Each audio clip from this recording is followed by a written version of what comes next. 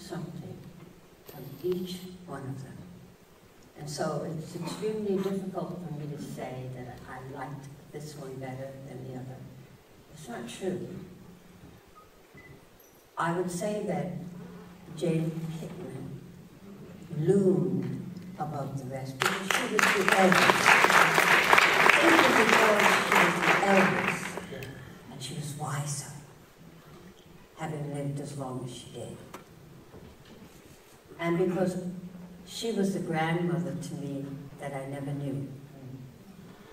And for those reasons, she gets some extra points.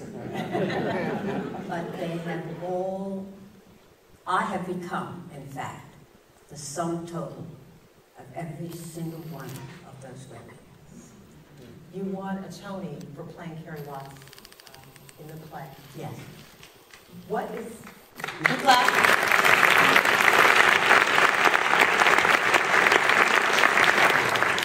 How is playing her on Broadway different from playing her on screen? Oh, ask Michael.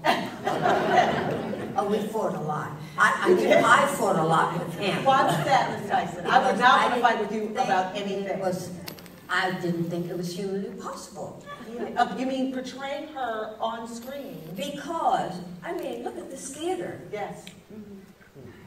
How can you go from this expansive, broad character that reaches to the last row in the balcony to this miniature screen? How do you do that? I've never had that experience before. And so I thought it was virtually impossible to do. And I fought with him. I mean, I got angry with him. Uh-oh, finally I decided to give up. And let him do whatever he felt like. It wasn't going to work anyway. Michael, what was that conversation like with Miss Tyson? You approached her. It wasn't a conversation.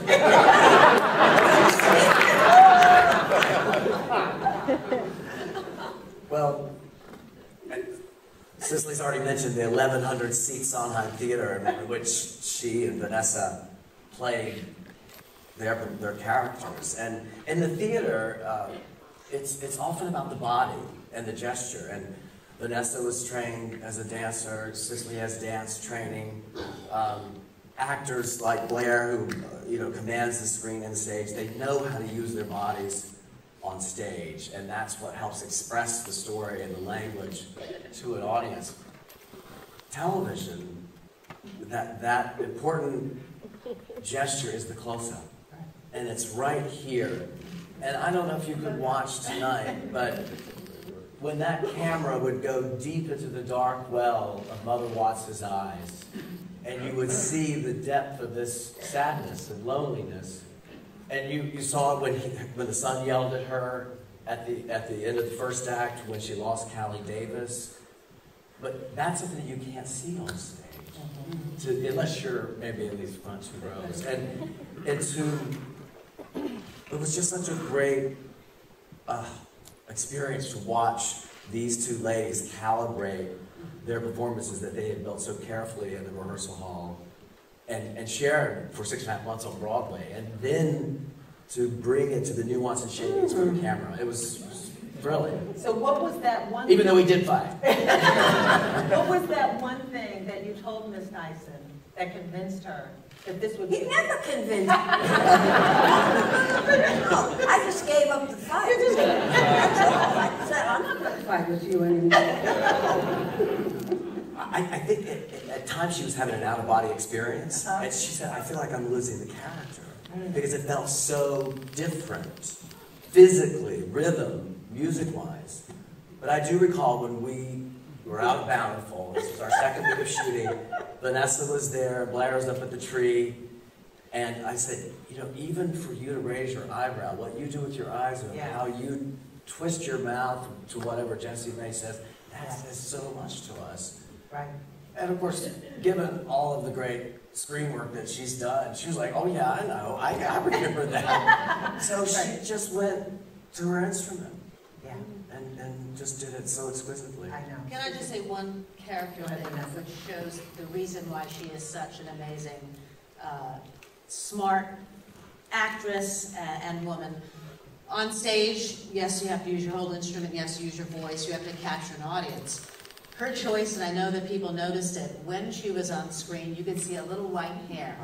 Some people would say, oh my God, did they not pluck that? That was her choice. They added that white hair Wow. to, to allow people to notice it, to notice her age, to notice that she's at an age now where she doesn't care about plucking it. And that informs the character. And all of a sudden, you're, you're tuned into somebody that's so realistic and reminds you of so many things that, oh, as, as a woman of a certain age, you're always thinking about that. But also, uh, you know, remembering your grandmother, remember the little things that happen when you age that you embrace. Right. And that was her choice as an actress, besides the, the wonderful attention and, and doing the words marvelously. But those choices to add that hair to her chin gives her Right.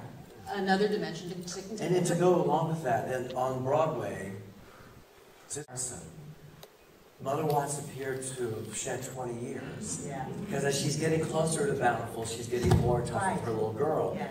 Well, that kind of makeup adjustment, subtle makeup adjustments, Mhm. were done by the, the actors in our fabulous makeup crew. Right. Um, and that's actors using their craft to help tell the story, whether it's on stage or, or screen. Vanessa, did you have any trepidation about bringing this, to the small? Not at all. I mean, uh, it, it was gold on Broadway. We knew what we had.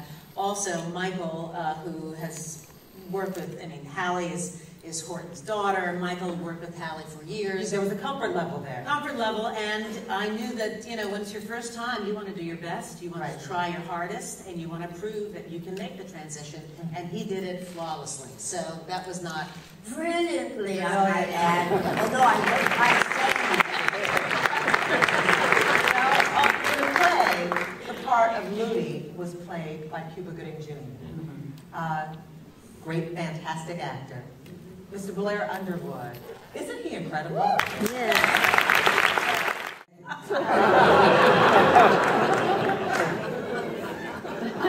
well, that's true.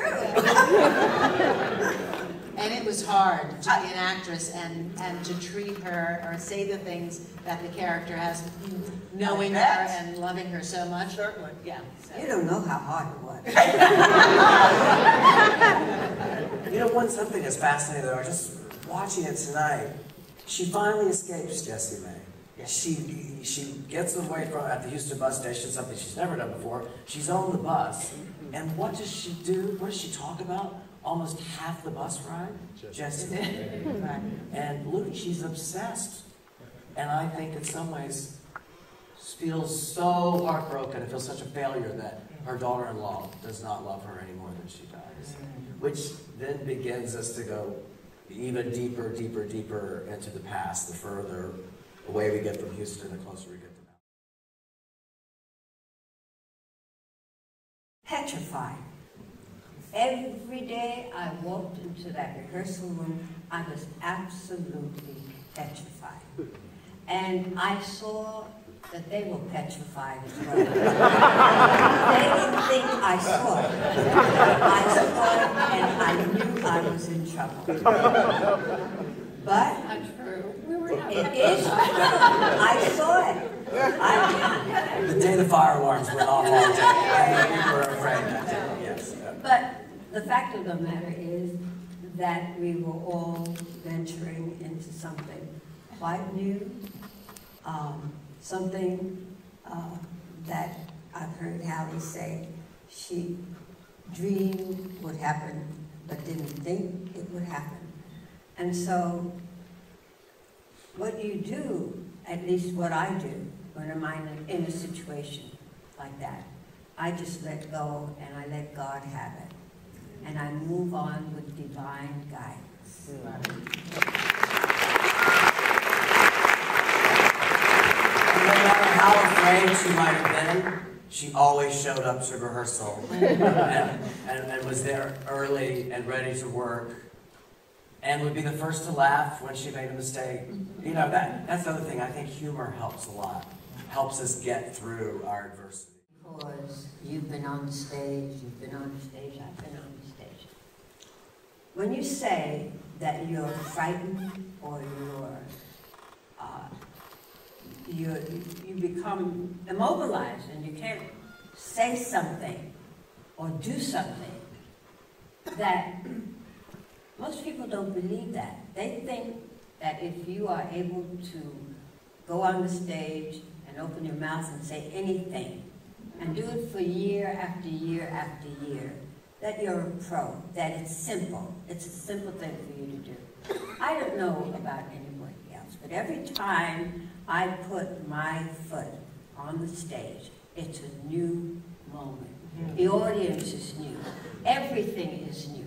And so if you are not in a position where you can give what they came for, you're in trouble. Mm-hmm. Okay? Yes.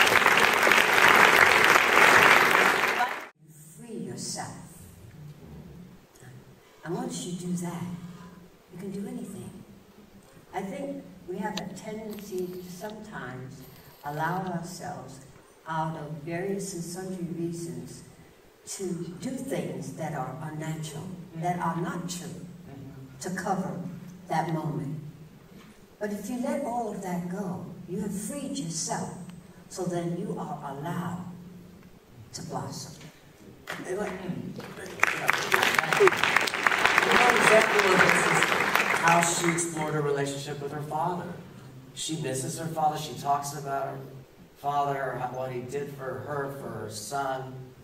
But then he also made sure that she did not have the love of her life to live with. Ray John Murray, he's the one that made that go away. So when she gets to Bountiful, she says, My father was a peculiar man.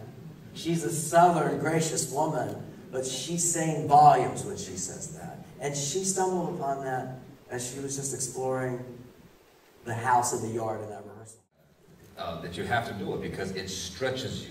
You mentioned Othello right now, I, and, and being petrified. I sat on that, the idea of that for a week because I was terrified of it. I kept hearing myself tell my kids, do the things that scare you, so I had to do it. So now, I'm in the middle of it, but it's, it demands every aspect of your instrument. Um, you know, your, your intellect with the words, your body, vocally, physically, all of those, the emotion, emotional range. You don't get that. Uh, well, first of all, let me say it's your foundation. Because if you understand how to do that, when it comes time to do camera work, you can s- step in at any point. It's all, uh, you know, out of order. No continuity when you shoot. And we have to mention, Part of it was the joy of getting to see it in this new form, but she also used it as a moment to be aspirational with a group of college students that we had there that day and making the point that if Carrie Watts can make this journey home against these insurmountable odds, and if Miss Cicely Tyson at this stage, rich stage in her career, can go on a movie set for 15 hours a day, 15 day shoot, and create this kind of performance, then this is what we have ahead of us, and that we should reach for our dreams and realize our potential. I would like to do one of my father's plays, and I would like to do it with Black Cat. And I know that my father, who had so much respect for you, would want you to play the lead role. I said to her, who is your father?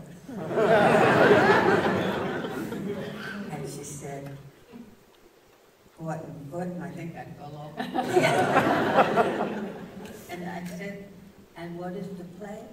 A trip to Bountiful. Well, then I really fell off the chair. The point is this, I was not, I never ever dreamed that it would be a trip to Bountiful. I simply was saying to him, I want one more role, because I have been really blessed in my career. And I, I'm not going to be greedy. I just want one more. I do one more, then I'll bow out gracefully. I didn't expect it to be Trip to Bountiful, and that was the shocking. It turned out to be. I waited 26 years before happened.